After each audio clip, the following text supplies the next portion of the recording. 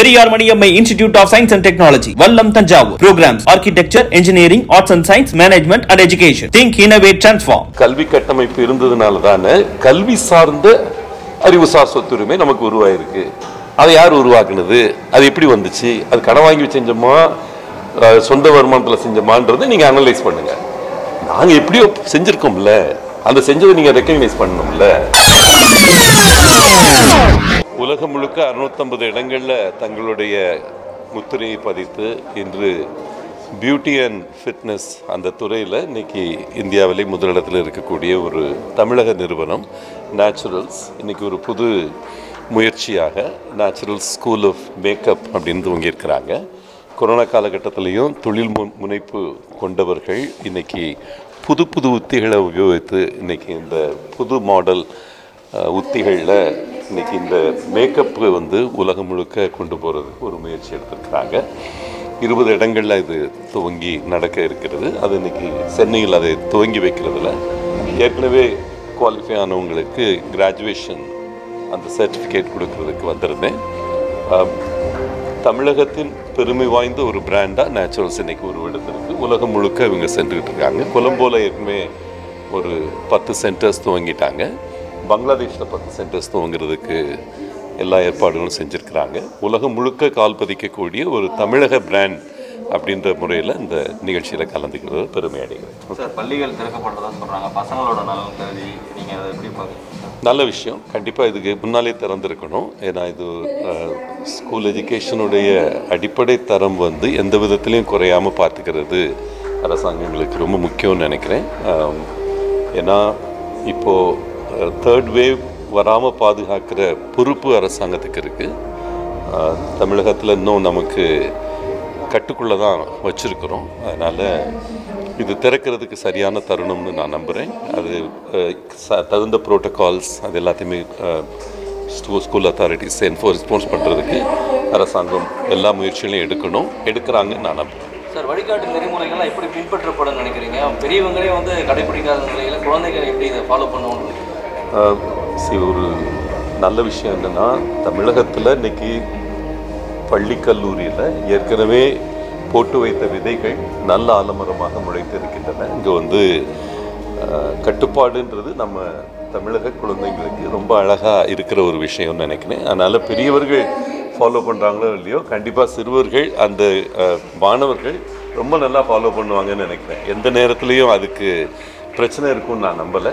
கண்டிப்பாக அந்த வழிகாட்டு நெறிமுறைகள் இன்னும் கொஞ்சம் தெளிவாக போய் சேரணும். அதுக்கு அந்த ப்ரோட்டோகால்ஸ் வழிகாட்டு நெறிமுறைகள் வந்து எனக்கு ரொம்ப நம்பிக்கை இருக்குங்க. நம்ம ஸ்கூல் சில்ட்ரன் வந்து அதை அழகாக ஃபாலோ பண்ணுவாங்கன்னு. ஏன்னா தமிழகத்தில் குறிப்பாக கடந்த பத்து ஆண்டுகளில் நம்ம எடுத்திருக்கிற முயற்சிகள் பள்ளிக்கல்வியில் நம்ம இப்போ முதலிடத்தில் இருக்கிறோம்.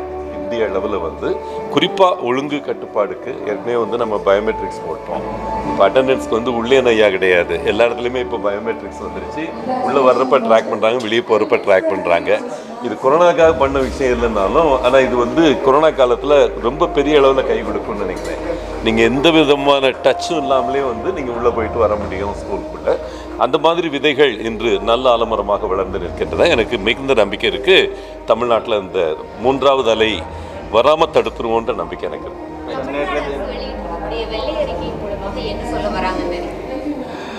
ஏமா நான் இன்னைக்கு ஆன்சர் பண்ண விரும்பினது நேச்சுரல்ஸ் சார்ந்து. இன்னைக்கு வந்து ஒரு தமிழகத்திலிருந்து ஒரு ஒரு தொழில் முனைவோர் இன்றைக்கி உலகெங்கும் கால் பதிக்கக்கூடிய அளவுக்கு அறுநூத்தம்பது இடங்களில் செட் பண்ணியிருக்கிறாங்க. அந்த பிராண்டுடைய மதிப்பு இன்னைக்கு வந்து பெரிய மதிப்பு. ஏன்னா சி கே பிரகலாத் சொன்ன ஒரு வார்த்தையை மட்டும் நான் சொல்ல விரும்புகிறேன் இந்தியாவிலிருந்து உலகத்தை உலகத்தை ஜெயிக்கக்கூடிய நூறு பிராண்ட் வரணும்னு சொன்னார். அவர் சொன்னது ரெண்டாயிரத்தில். அவர் எப்போ சொன்னார்னா ரெண்டாயிரத்தி இருபத்தி மூணு இந்தியா அட் செவன்ட்டி ஃபைவ்னு சொன்னதில் சொன்னது இந்தியாவிலிருந்து வலிமையான பிராண்டுகள் வந்து உலகத்தை வெற்றி கொள்ள வேண்டும் சொன்னார். அந்த அந்த நூறில் ஒன்று இந்த நேச்சுரல்ஸ் பிராண்டுன்னு நினைக்கிறேன். அந்த இடத்துல இருந்து நான் பேச விரும்புகிறது கண்டிப்பாக இதை தான் நீங்கள் இதுக்கு தமிழக அரசாங்கத்துடைய வெள்ளை அறிக்கைக்கு ஒரே ஒரு லிங்க் மட்டும் நான் சொல்ல விரும்புகிறேன் அவங்க என்ன சொல்லியிருக்காங்கன்னா தமிழகம் வந்து சொத்துக்கள் மிகுந்த மாநிலம்னு ஒரு அழகான வார்த்தை சொல்லியிருக்காரு. அவர் பல விஷயங்கள் சொல்லியிருக்காரு. அதில் நான் அது அரசியலாக்க விரும்பலை கிரிட்டிசைஸ் பண்ண விரும்பலை. அவர் நம்ம இவ்வளவு கடன் வாங்கியிருக்கோம். ஆனால் அதே நேரத்தில் இந்தியாவிலே சொத்துக்கள் அதிகமாக உள்ள மாநிலம் தமிழகம்னு சொல்லியிருக்காரு. இந்த நிகழ்ச்சி அதுக்கு ஒரு ஓமன் நினைக்கிறேன். சொத்துன்றது வந்து ஃபிசிக்கல் அசட்ஸ் மட்டும் கிடையாது. சொத்துன்றது இன்டான்ஜிபிள் அசட்ஸும் கூட. அது நிதியமைச்சருக்கு நல்லாவே தெரியும். இன்னைக்கு இந்த ஒரு பிராண்டில் மட்டும் உருவாகிறதுக்கு இதனுடைய மதிப்பு இன்னைக்கு வந்து கோடிக்கணக்கில் இருக்கும். இந்த நேச்சுரல்ஸ் பிராண்டோட மதிப்பு. இந்த மாதிரி எத்தனை நிறுவனங்கள் கடந்த பத்தாண்டுகளில் உலகத்தை வீழ்த்தும் அளவுக்கு இன்னைக்கு வந்து உருவாயிருக்குன்னு பார்க்கணும் அதுக்கப்புறம் அவருடைய நம்பர்ஸ் எல்லாம் பாருங்கள் அந்த நம்பர்ஸ் எல்லாம் ஒரு பக்கம் பாருங்கள் இன்னொரு பக்கம் வந்து ஓகே அஞ்சு லட்சத்து எழுபதாயிரம் ரூபா எழுபதாயிரம் கோடி கடன் வாங்கியிருக்கோம் ஒரு பக்கம். அந்த சொத்துக்கள் பற்றி ஒரு பேராகிராஃப் மட்டும் அதில் சொல்லியிருக்காரு. அதை மட்டும் அவரை திருப்பி படிக்க சொல்லுங்கள் எத்தனை சொத்துக்கள் கடந்த ஆட்சியின் முயற்சியால் உருவெடுத்தது? அந்த சொத்துக்கள் வடிவமைப்பதற்காக என்ன வாங்கியிருக்கோம்? இதைத்தான் வந்து எல்லாரும் சொல்கிறாங்க நாங்கள் வாங்கின கடன் வந்து சொத்துக்களை உருவாக்குவதற்காக சென்றிருக்கிறது. கேபிட்டல் எக்ஸ்பெண்டிச்சர் அப்படின்னு அவருடைய உலக வங்கி தமிழில் அவர் சொல்லியிருக்கிற விஷயம் வந்து அடிப்படையில் வேறு ஒன்றும் கிடையாது. இன்றைக்கி இவ்வளவு சொத்துக்கள் நம்ம உருவாக்குனதுனால தான் அவ்வளவு கடன் தர்றாங்க. கடன் வாங்குறது பெருசு இல்லை க தப்பு இல்லை. அது என்ன விலையில் கடன் வாங்குறீங்கன்றது முக்கியம். அதாவது என்ன இன்ட்ரெஸ்ட்டில் வாங்குறீங்க அந்த வட்டி. அதை அந்த வெள்ளை அறிக்கையில் கொடுக்கலாம்ல. இதுக்கு முன்னால் எவ்வளவு இன்ட்ரெஸ்ட்டில் வாங்கினாங்க? இப்போ எவ்வளவு வட்டியில் வாங்கியிருக்கிறாங்க இந்த பத்து ஆண்டுகளில்? இதை வந்து அந்த வெள்ளை அறிக்கையில் இன்னொரு பேராகிராஃப் கொடுத்தாருன்னா அவர் மனசாட்சிக்கே தெரியும். எப்படி வந்து சொத்துக்கள் உருவெடுத்தது அந்த சொத்துக்களுடைய வடிவம் என்ன அந்த சொத்துக்களுடைய தன்மை என்ன அந்த கேபிட்டல் எக்ஸ்பெண்டிச்சர் நம்ம கொடுத்துருக்கிற விஷயம் என்ன இருக்குன்னு சொல்லிட்டு. இதை மட்டும் நான் சொல்ல விரும்புகிறேன் ஏன்னா இது இந்த நிகழ்ச்சியோட ஒரு லிங்க் இருக்குது இப்போ இந்த சொத்துக்கள்லாம் நீங்கள் எங்கே வேல்யூ பண்ணியிருக்கீங்க? பேலன்ஸ் ஷீட்டில் போட்டிருக்கீங்களா? இப்போ ஜிடிபின்னு ஒன்று இருக்குது அது ஒரு தெரியும். எவ்வளோ ஜிடிபி வந்து வளர்ந்துருக்கு தமிழ்நாட்டில்? கடந்த பத்து ஆண்டுகளில் நீங்கள் ஒரு உவமை சொல்ல போனால் போன வருஷம் வந்து இந்தியா முழுக்க வளர்ச்சி வந்து நாலு புள்ளி ரெண்டு பர்சன்ட் தமிழ்நாட்டுடைய வளர்ச்சி எட்டு புள்ளி ஆறு பர்சன்ட் போன வருஷம் கொரோனா வருஷத்தில் இந்தியாவோட வளர்ச்சி மைனஸ் ஏழு புள்ளி ஏழு பர்சன்ட் தமிழகத்துடைய வளர்ச்சி மூணு பர்சன்ட் ப்ளஸ் மூணு பர்சன்ட் அப்படின்னா இந்தியா வளர்ச்சியை விட நம்ம plus ten point seven percent அதிகமாக வந்திருக்கும். இதை மறுக்க முடியுமா அவங்க? ஏன் இந்த வெள்ளை அறிக்கையில் இதுக்கெல்லாம் இடம் இல்லையா? வெள்ளை அறிக்கையில் ஏதோ கொடுக்குறீங்க. ஆனால் அடிப்படையாக நீங்கள் என்ன சொல்லணும்? தமிழகம் வளர்ந்துருக்கா வளரலையா? முன்னால் இருந்ததோட வேகமாக வளர்ந்துருக்கா வளரலையா? எந்த விதத்தில் வளர்ந்துருக்கு? சொத்துக்கள் கூடியிருக்குன்றீங்க. நீங்களே சொல்கிறீங்க மனசாட்சி பொருட்களை நீங்களே அந்த பேரகிராஃப் போட்டிருக்கீங்க. அந்த சொத்துக்களுடைய தன்மையை சொல்லுங்கள் எப்படி உருவாச்சு அந்த சொத்துக்கள்னு சொல்லுங்கள் இப்போ சரியான கல்வி கட்டமைப்பு இருந்ததுனால தானே கல்வி சார்ந்த அறிவுசார் சொத்துரிமை நமக்கு உருவாயிருக்கு. அதை யார் உருவாக்குனது? அது எப்படி வந்துச்சு? அது கடன் வாங்கி செஞ்சோமா சொந்த வருமானத்தில் செஞ்சோமான்றதை நீங்கள் அனலைஸ் பண்ணுங்கள் நாங்கள் எப்படியோ செஞ்சுருக்கோம்ல. அந்த செஞ்சதை நீங்கள் ரெக்கக்னைஸ் பண்ணணும்ல. அதுக்கப்புறம் நீங்கள் கொடுங்க ஒரு ஹோலிஸ்டிக்காக இருக்கும். உங்கள் வெள்ளை இருக்கின்றது சொல்லிக்கிறேன். நேற்று தினையும் அரசு பழிவாங்கும் நோக்கில் செயல்படுதா நினைக்கிறீங்க வாழ்த்துக்கள், வாழ்த்துக்கள். எப்பா நேச்சுரல்ஸ் பற்றி கவர் பண்ணுங்க. இல்லை நேச்சுரல் ஸ்கூல் ஆஃப் மேக்கப் அப்படின்னு சொல்லி மேக்கப்புக்கு மட்டும் ஸ்பெஷலைஸ் பண்ணி ஒரு அகாடமி ஒன்று லான்ச் பண்ணியிருக்கோம். ஏன்னா இன்றைக்கி வந்து மேக்கப்புன்றது வந்து இன்றைக்கி வந்து பலதரப்பட்ட ஒரு ஆப்பர்ச்சுனிட்டி க்ரியேட் பண்ணியிருக்கு கொரோனா காலத்தில் எல்லாம் வேலை போயிடுச்சு. எல்லோரும் வந்து பிஸ்னஸ் டூலெட் போர்டு போட்டாச்சு.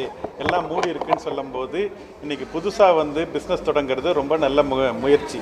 இன்றைக்கி வந்து நடிகர்களையும் நடிகைகளையும் வந்து ஹீரோஸும் ஹீரோ ஷீரோஸ்னு சொல்கிறத காலம் வந்து மாறணும். ஏன்னா வந்து நடிகர்களையும் நடிகைகளையும் வந்து என்டர்டெய்னர்ஸ்ன்னு தான் சொல்லணும். ஏன்னா அவங்க என்டர்டெயின் தான் பண்ணுறாங்க இன்றைக்கி வந்து தொழில் முனைவோர்கள் தான் இன்றைக்கி வந்து ஹீரோஸ் அண்ட் ஷீரோஸ்னு சொல்லணும். ஏன்னா அவங்க தான் வந்து வேலை கிரியேட் பண்ணுறாங்க இந்த மாதிரி பேண்டமிக் டைமில் வேலை கிரியேட் பண்ணுறது தான் ரொம்ப முக்கியம். இதுக்கு புதுமையான முயற்சி பண்ணணும். ஏன்னா பழைய பஞ்சாங்கத்தை படித்து இன்றைக்கி வந்து புது மார்க்கெட்டை நம்ம கிரியேட் பண்ண முடியாது. புது புது மாதிரியான ஆப்பர்ச்சுனிட்டி வந்து இந்த கொரோனா வந்து கிரியேட் பண்ணியிருக்குது புது புது ப்ராப்ளமும் கிரியேட் பண்ணியிருக்கு இன்றைக்கி வந்து ஒரு ஜூம் செயலின்னு ஒன்று பார்த்தீங்கன்னா அதை வச்சு வந்து உலகம் ஃபுல்லாக எங்கேயும் வெளியே போகாமே நம்ம இன்றைக்கி நிறையா விஷயத்த வீட்டில் இருந்தே செய்ய முடியுதுன்னு சொன்னால் அது கொரோனா கொடுத்த ஒரு கொடைன்னு தான் சொல்லணும். அந்த மாதிரி இந்த மேக்கப்ன்ற இதில் பார்த்தீங்கன்னு சொன்னீங்கன்னா நிறைய பேர் இன்னைக்கு வந்து எங்ககிட்ட எனக்கு மேக்கப் மட்டும் தனியாக கற்றுக் கொடுங்க. நான் ஒரு மேக்கப் ஆர்டிஸ்ட் ஆகணும். நான் மேக்கப் ஆர்டிஸ்ட் ஆனால் நான் ஃப்ரீலான்சராக இருக்க முடியும். நான் வந்து தனியாக பிரைடல் ஸ்டுடியோ போட முடியும். நான் எல்லாம் எனக்கு வேண்டாம். ஏன்னா எல்லாரும் இன்றைக்கி ஸ்பெஷலிஸ்ட் கேட்குறாங்க அந்த ஸ்பெஷலிஸ்ட் கேட்கும்போது அந்த ஸ்பெஷலிஸ்ட்டுக்கு ஏற்ற மாதிரி நான் எல்லாரையும் ரெடி பண்ணுறது ரொம்ப முக்கியம்னு சொல்லி இதை ஒரு ஆப்பர்ச்சுனிட்டியாக முதல் மேக்கப் அகாடமி போட்டுட்டு ஹை குவாலிட்டி ட்ரெயினர்ஸை கொண்டு வந்து ட்ரெயின் ஹார்டு ஒர்க் ஈஸி அதான் எங்களுடைய இது. அந்த மாதிரி இங்கே கொண்டு வந்திருக்கிறோம். இவங்க வந்து சினிமா ஃபீல்டுக்கு போகலாம் டிவி ஃபீல்டுக்கு போகலாம் அவங்களே வந்து ஃப்ரீலான்சர் ஆகலாம். அப்படி இல்லைன்னா அவங்க வந்து நேச்சுரல்ஸோ பேஜ் த்ரீயோ இங்கே சலோன்ஸில் ஒர்க் பண்ணலாம். என்ன வேணால் அவங்க பண்ணலாம். அந்த மாதிரி அவங்கள ரெடி பண்ணுறது தான் முக்கியம். அவங்கவுங்க will find their own way அப்படின்றது தான் நாங்கள் இந்த இடத்துல கொண்டு வந்திருக்கிறோம். மூணு மாதம் கோர்ஸ் இருக்குது ஒரு மாதம் கோர்ஸ் இருக்குது டுவெண்ட்டி டேஸ் கோர்ஸ் இருக்குது ஹை குவாலிட்டி பாம்பேயில் டைப் பண்ணியிருக்கோம். டெல்லி எல்லா இடத்துலேருந்து ட்ரைனர்ஸ் வந்து எங்களுக்கு சொல்லிக் கொடுப்பாங்க. அதனால் கொஞ்ச நாளில் வந்து சென்னையோட மேக்கப் த தரத்தை வந்து இன்டர்நேஷ்னல் லெவலுக்கு எடுத்துகிட்டு போனோம். நேச்சுரல்ஸாக சலோனா நாங்கள் இன்டர்நேஷ்னல் கொண்டு போனோம். இன்றைக்கி வந்து மேக்கப்னு ஒரு ஸ்பெஷலைஸ் பண்ணி அதை இன்டர்நேஷ்னல் தரம் எடுத்துகிட்டு போகிறதுக்கு ஒர்க் பண்ணிட்டு இருக்கோம். Periyar Maniammai institute of science and technology Vallam Thanjavur. Programmes architecture engineering arts and science management and education think innovate transform